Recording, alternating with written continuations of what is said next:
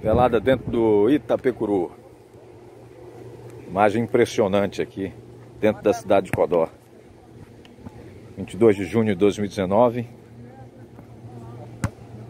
Ali ao fundo o rio, passarela, Codó. E aqui os garotos jogando futebol.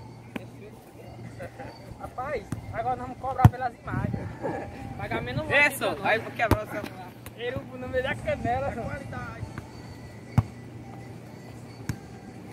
Leito do Itapecuru. O que restou dele.